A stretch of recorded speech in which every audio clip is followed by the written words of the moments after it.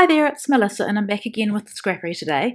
So what I decided to do was do a mixed media layout because I do get the colour kit and I think it's important to um, use the products that you get. So I decided to use the stencil. I think it came in the kit, I'm not sure because we got some other things too, I think as part of Renelle's birthday. She put some extra goodies in and that's for subscribers too. So what I'm using is the triangle stencil on this um, background paper that looks like um, looks like an eye test or a word find. So um, I'm just putting that gold Lux modelling paste through it. Now I'm using a um, what's it called? Part of the bone folder kit, you have that tool. It's just plastic. I couldn't find an old credit card or popsicle stick, so I'm just using that. And I'm not being perfect about this. Um, I'm just wanting to add some texture and that beautiful gold to my background. So I just, at this point, didn't even know what photo I was going to be scrapping or what my design was going to be. So sometimes you can just go ahead and make a mess or do like being a bit rude do some mixed media on the background is what i mean um, i am by no means a mixed media expert so with me sometimes it does end up being a bit of a mess but it always seems to come together in my final layout. So I decided to go with this photo of my three. Um, Ava was a little baby. This is February last year, so 2017, on the first day of school. So Ava would have been a couple of months old, and I took I take a photo every year of my kids, and Brielle had to jump in for this photo too, which I thought was really sweet. So it's them in the uniforms. Um, Sam had his hood up, which I wasn't too happy about, but you know, you've got to go with your kids as they are. And um, yeah, bare feet wasn't the best either, but I think I may even cover some of that up later. So here is one of the cut apart sheets. This collection is the Crate Paper Good Vibes and it's just gorgeous and super fun. And so I thought the Good Vibes only was a good phrase for the first day back at school because um, if your kids are like mine, they love the school holidays, they love being at home. They do miss their friends, so um, they're not always that happy about the first day of school. But anyway, um, then I took this Distress ink.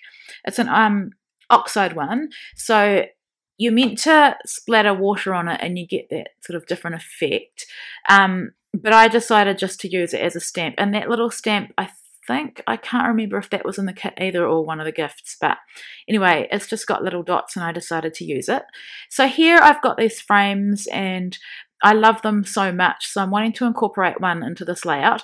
It was too small for my photo. I wanted to make sure I had like all of the kids and a bit of our lawn, our backyard in it as well. I didn't want to cut off their feet or anything, or even um, my older two sides of their body. So then I thought, hey, why don't I just put it on top of the little card because it fit perfectly, and I loved the way it looked. So it brought out. Um, I guess the colours and tones because it all goes together, of course. And I love the gold on that frame. I'd had that label left over from last the last layout I did. I never used it, and then I thought this um, weekly little paper was perfect with days of the week and later on I'll trim it down even more. Just using my distress tool just to distress the edges. A Crate Paper paper looks really good if you distress the edges.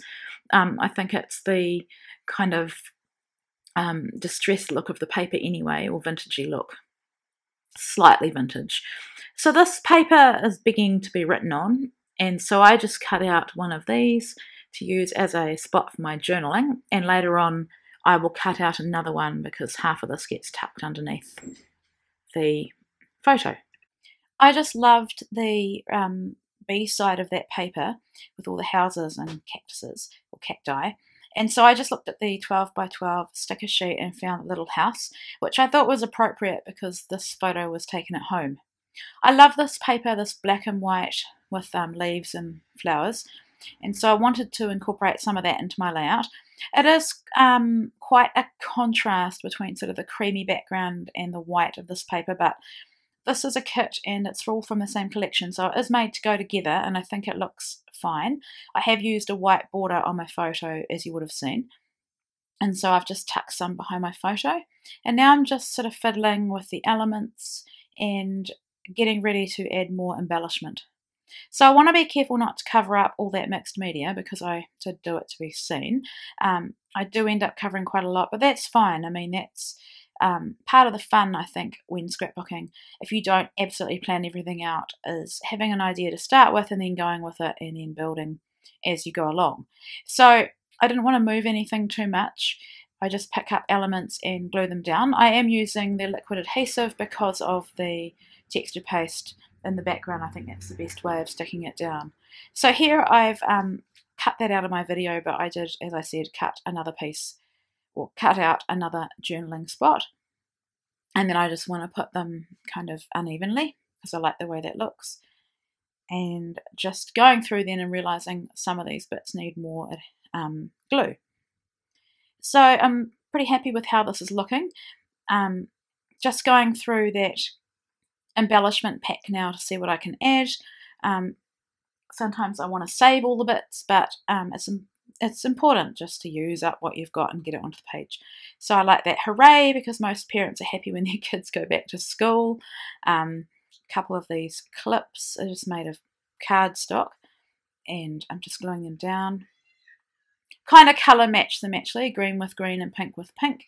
And then I've taken that little days of the week and I've ripped off the Saturday and Sunday because we don't go to school on those days. And then I'm using some dimensionals just to pop up parts of um, my layers that need to be popped up. Adhering that star, cork star with liquid adhesive. I'm sorry if you can hear Ava crying in the background, she's with Sean. Um, I will check soon to see what the problem is. Um, yeah, like I said, adding some dimension behind areas. And then um, these little clips needed a tiny dot of glue just on that triangular piece. Otherwise, they were going to float around and obviously look like they are paper or cardstock. So that's what I'm doing there. Um, adding some gold colour shine before I add my journaling. And I did think about adding some black as well, but I honestly couldn't get the lid off because I hadn't used it for so long. So decided not to fight it and just not have it on there, just tucking a sticker under there. Now it's like the final details, little small embellishments, a few more dimensional adhesive spots to lift parts that need to be lifted or secured, including um, I always put something behind my tag just to lift it up. So trying to think what I do next. It must be getting to the journaling soon because I don't think I add too much more having another look at that sticker sheet. Those stickers are just absolutely beautiful. I love them. Um, okay, adding um, the word awesome. Sometimes I look at all the elements and forget that there are even phrase or word stickers. So I add this little ampersand Sorry, that was the door banging. It's just always something going on in this house. Um, and I like that you do you because it's what your kids, it's what you want your, bleh. that is what you want your kids to be, isn't it? To be themselves and not be like anybody else, just to be themselves. So once again, just popping some dimensional adhesive. And then I thought that little cactus um, sticker was super cute. So I have glued that on.